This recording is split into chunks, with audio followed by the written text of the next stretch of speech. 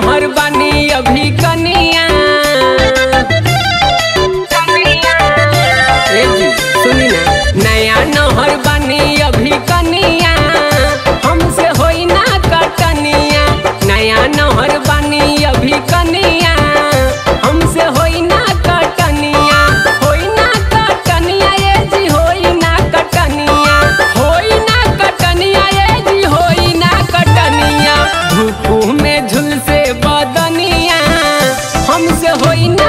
टनिया नया नहर बनी अभी।